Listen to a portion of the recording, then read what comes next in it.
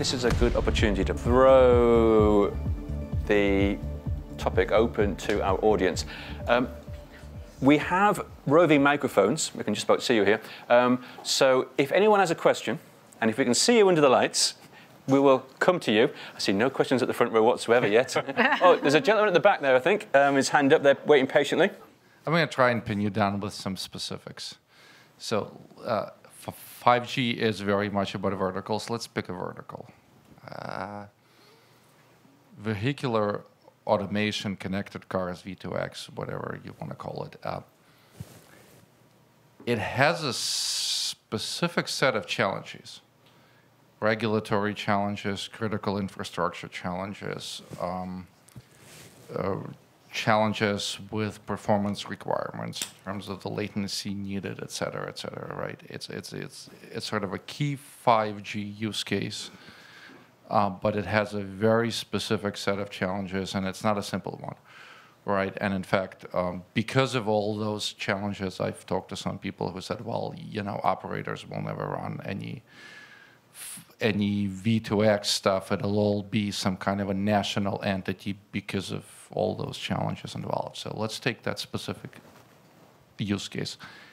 How does open infrastructure help unlock that the potential of that specific use case, right? And the business potential of that specific use case for the CSPs. Okay, great question. Um, who would like to um, have, have a crack? Mansur? I'm happy to, to have, a, have a crack. But first of all, I'd say I don't think it's, the, sorry, but I don't think it's the best example because. there you go. only because, not because, only because, because V2X is known as one of the things you can actually start with 4G and other people are doing with ITS and then build the 5G on top, only for that reason. But we're happy to take that example. Um, so what does open infrastructure give to CV2X? And, uh, you know, some, in many areas of uh, the world, especially the UK, uh, there is a huge amount of 4G coverage going on the roads, and it's putting in LTE Advanced Pro features, which are built for mission critical, which are the building block for running a V2X network. So anybody interested in V2X, come to the UK, let's test it out there. There's no better LTE Advanced Pro coverage. So open infrastructure in that sense. You're right, there are operators who are really nervous about that uh, business uh, today. That's why we're doing a lot of trials, and many of those trials are in the, uh, there's a trial called AutoAir on the V2X side, just to get operators and third parties comfortable with, with the, the business model there. But what it really gives is the, so you have networks that run across the roads. You have the NERTS2 network in the UK, which is all about fiber infrastructure across the roads. They're upgrading those fibers, they're upgrading their, their, um, uh, their antennas that they use for their internal use cases, and they're doing a feasibility study now saying, what if we open up that infrastructure, which was always closed? What if we open up that infrastructure to 5G? What does it look like? How can we be, how can we actually optimize what we do for, at a lower cost, but also bring in new revenues by bringing a mix of edge computing? So if you've got, you know, a thousand kilometers of roads, it's a perfect scenario for having edge compute stations, uh, stations close because those are not cities, those are roads, those are highways. So you can optimize the, between a mix of edge and being future-proof ready for 5G. You can reduce your own costs, and you can actually get extra revenues by bringing in the third parties on top of that. That can only work if there's a certain amount of interaction, whether that's on multi-spectrum, shared and unlicensed spectrum, whether it's access to the infrastructure on a shared basis and an open basis, and uh, also on the IT infrastructure, especially the APIs for the use cases that mm-hmm. those companies already use. They spend millions and millions of pounds on really legacy you know, systems that they could do better with 5G. So that, that, that would be my answer about what open networks can give. And there's a lot more, but that's just a start. Maybe a, yeah, maybe a comment. If you just look at, if you think of of the scenario where the carrier infrastructure helped the uh, the automatic vehicle, that you know having got rid of the borders in in Europe, right? I live in Grenoble. I would hate that my car would stop at every border that I pass and gr- grinding halt. What about Northern Ireland? Having yeah, having to reconfigure my car. So I think again, if you look at the opportunity uh, for the telco industry to provide the kind of interoperability that is the reason that the GSMA Association is having an event in the US, right? That to provide that level of openness, so a Ford Motor Company or BMW can actually implement across all these geographies and rely on uh, companies present in those geographies to handle things like data privacy and all the other things that come in. I think it's a typical case where a lot of what's necessary in terms of culture and capability is in place in, in the carriers. But it needs to be an open uh, environment because otherwise BMW can't deploy across Europe. Uh, so I think that openness is critical for enabling those business models. Great. Um, another question. There's going to be another question. So I'm quoted with Mark Zuckerberg on TIP when I was at Gartner and published on open APIs and but I've been through the telco, you name it, ex Nortel, ex manager networks engineering at Bell Canada way back. But I've been in the soft switch space back in the early 1999, 2000s, was chief architect at Siemens on WiMAX, SkyMax. Also on ATCA back in the day with Intel, blade server architecture. So I've seen a few of these same gyrations. But as we learned, you know, a lot of these things was service assurance, reliability, resiliency. ATCA didn't have the complete story. WiMAX was, you know, okay, it wasn't really a 4G, it was 3.5G. Now with 5G, I think we're on the precipice to learn from our mistakes, to learn, you know, how to do end-to-end service assurance, how to do NFV the right way. With M-CORD, I think there's a lot of potential there. And now it's about connecting the dots. Now, the topic here, open infrastructure. Do you really want to open everything with service, resiliency, privacy, security? Or should it really be open APIs? Because I'm, I'm an advocate about APIs. I don't think you need to give away the source. You, you, you don't need to be on GitHub. You don't need to be on Topcoder with Wipro or whomever. You don't need to share everything because open code means open to hackers, open to. There's always vulnerabilities that we haven't thought of. But open APIs, I think, is the best way. So just any thought processes there. Yeah, I'll take it. Well, yeah, just to save Caroline. Um, I'll take it. Um, but basically, yes, I agree. And that, that was the point I was trying to say. It's about what we expose, right? But I want to be clear about open APIs. And if you've been in the open API, uh, you know, debate for some time, is that sometimes the open APIs stifle innovation. And this is the point I was trying to make. Sometimes we say that this is the standard.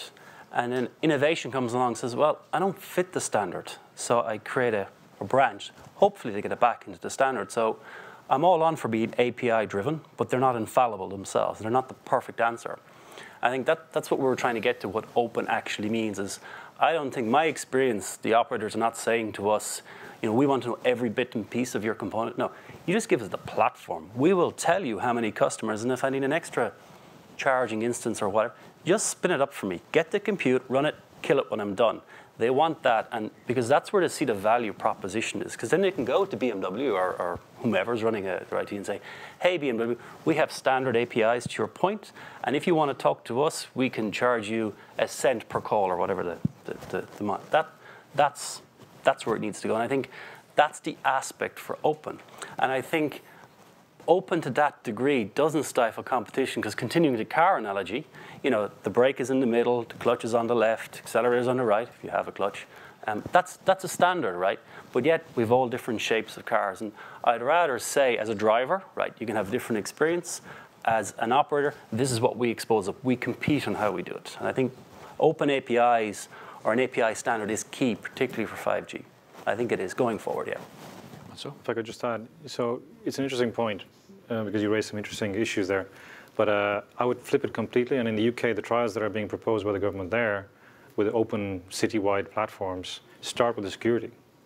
So open doesn't necessarily mean non-secured. You secure by design, um, and that is embedded into it, and also carrier grade service quality.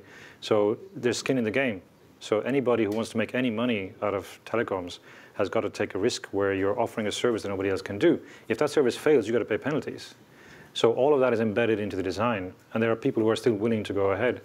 And I would just kind of, on one point, there is a perception which is very widespread that open source means open to hacking and less secure.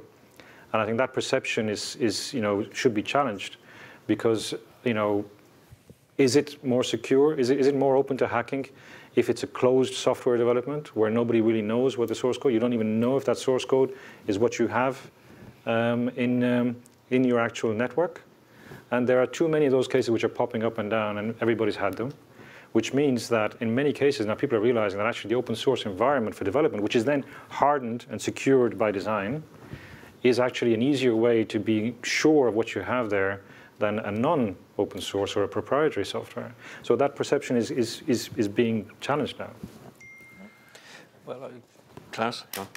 No, I, I think it's, it's, also about pooling of purchasing power seen from uh, a CSP. You mentioned ATCA. I think it's a good example that when you try to do things in a too specialized way, there wasn't enough purchasing power to really drive the kind of efficiencies. It was too, you know, it was, you know, thermally inefficient. The innovation was too slow, etc., because it was designed for a smaller market. We have to find ways that allows carriers to pool their purchasing power and align it with what's going on in the IT industry at large. Exactly. And then it can be open and closed. I think if we're going to take it to the extreme, I would like for Intel to publish their chip designs so others can build an Xeon.